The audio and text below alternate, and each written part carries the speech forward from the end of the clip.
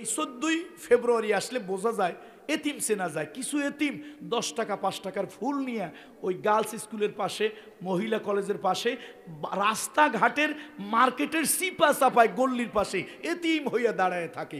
দুনিয়া চিন্তা করি, আল্লাহ, এত এতিম কোথা থেকে আসলো? শেষে একজন কয়, না হুজুর, এটা আজকে চোদ্দই ফেব্রুয়ারি। হুজুর, এটা আপনি বুঝবেন না, এটা অন্য কিতাবে লেখা আছে, এটা বিশ্ব এতিম দিবস। এই জন্য এতিমেরা বিভিন্ন সিপা সাপায় রাস্তার মোড়ে কোনায় কাইনসে দাঁড়াই আছে। তো খবর আছে। এখন ওরা গোয়েন্দারা আসছে দেখার জন্য। ওরা হাসে আর কয়, পাগলে কি না কয়? এগুলো আসতো পাগল। মানুষ লেকচার দেয় মানুষের সামনে। তারা লেকচার দিতেছে কিসের সামনে? জঙ্গলের সামনে লেকচার দেয়। ওরা পাগল মনে করছে, নাউজুবিল্লাহ নাউজুবিল্লাহ নাউজুবিল্লাহ হিমিন জালিম ওরা পাগল মনে করছে, কিন্তু পাগল না। একটু পরে তাদের বোধোদয় হলো। দেখতেছে বাঘ, সিংহ, ভাল্লুক, যার যার লাইন ধরে ধরে এলাকা ছেড়ে চলে যাচ্ছি। সেই সাদ বিন আবি তার থেকে একটা বর্ণনা আমি দেখেছি তফসিরের ভিতরে দেখেছি। সাদ বিন আবি বলেন, রসুলুল্লাহর সাথে আমরা একদিন যাচ্ছিলাম। আল্লাহর হাবিবের সাথে একদিন যাচ্ছিলাম। এমন সময় নবীজি মসজিদে ঢুকলেন। আচ্ছা নবীজি মসজিদে ঢুকলে আমরা কি বাইরে থাকব নাকি? আমরা মসজিদে ঢুকলাম। নবীজি মসজিদে ঢুকে সেজদায় পড়ে অনেকক্ষণ কাঁদলেন। সেজদায় পড়ে অনেকক্ষণ কাঁদলেন। সেজদা থেকে উঠে নবীজি আমাদেরকে শোনাইলেন, শোনো, দুটি সুসংবাদ, একটি দুঃসংবাদ। দুটি সুসংবাদ, একটি দুঃসংবাদ। সুসংবাদ হলো, আমি আল্লাহর কাছে সেজদায় পড়ে কেঁদেছিলাম। আমার উম্মতকে আল্লাহ তালার জন্য কোনো ভাইরাস, মহামারী ডিজাস্টার প্যান্ডামিক আল্লাহ তালার জন্য না দেয়। একবারে আমার উম্মত যেন ধ্বংস না দুইজন, পাঁচজন, দুইশো, পাঁচশো, হাজার, এক হাজার, এক লাখ মারা যাবে। কিন্তু পৃথিবীর কোটি কোটি মানুষ একসাথে যেন মারা না যায়, এই জন্য আমি আল্লাহর কাছে শেষদায় পড়ে কাঁদলাম। আল্লাহকে হাবিব মাথা উঠান, দোয়া কবুল হয়ে গেছে। তাহলে ভাইরাস, মহামারী, কলেরা, দুর্যোগ, লোক মারা যাবে, কিন্তু একসাথে দুনিয়ার সব লোক মারা যাবে। দ্বিতীয় আমি আল্লাহর কাছে বললাম, আল্লাহ, কত জাতি দুর্ভিক্ষ মারা গেছে।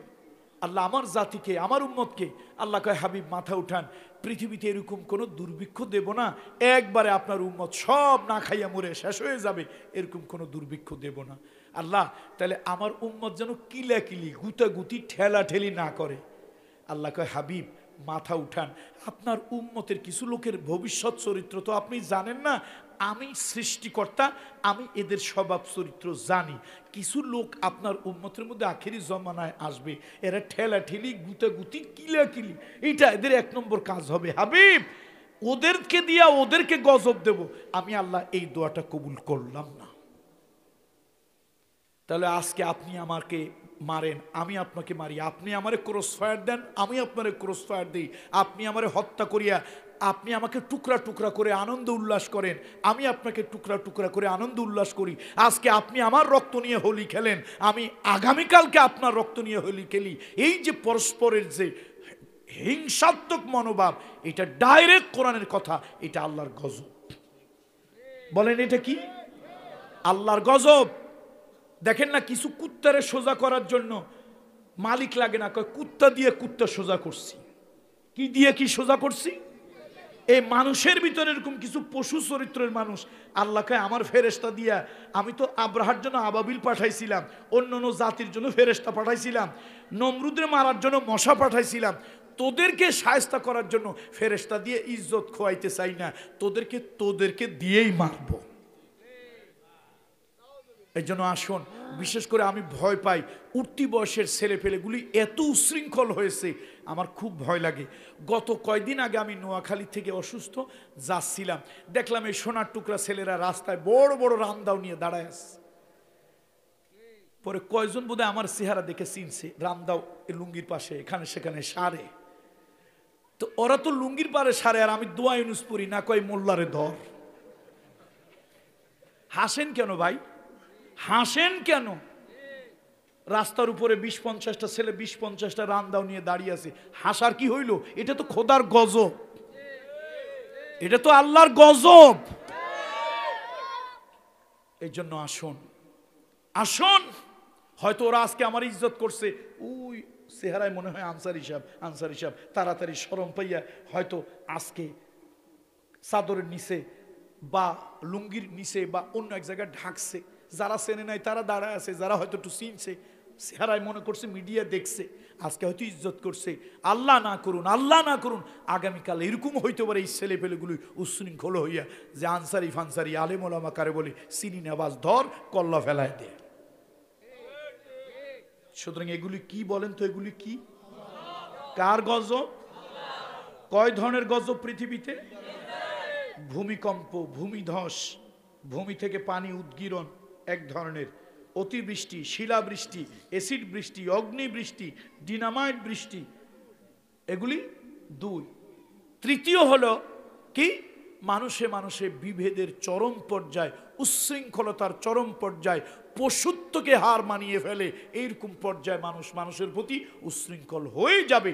আল্লাহ তালা এই তিন ধরনের গজব থেকে আমাদেরকে হেফাজত করুন। আমি রাত্রে চলে যেতে চেয়েছিলাম, তো আমার স্নেহের মামন বললেন, না হুজুর, যাওয়া যাবে না। আসলে সকালবেলায় গত কয়েকদিন ধরে কথা জবান দিয়ে বেরই হয় না। তো দেখি চেষ্টা করব, আগামীকালকে মহিলা মাহফিল কোথায়? এখানে। মাহফিল কিন্তু শরিয়াত সৃষ্টির জন্য, শরিয়াত ভঙ্গের জন্য নয়। মাহফিল শরিয়াত সৃষ্টির জন্য, শরিয়াত ভঙ্গের জন্য। এই তোমরা কলজার টুকরা, যুবকরা যারা আসো কালকে এই খাল পার হওয়া সকালবেলায় তোমাদের জন্য জায়েজ নাই। আজকে যেমন বিশ্ব এতিম দিবস ছিল। আজকে কি দিবস?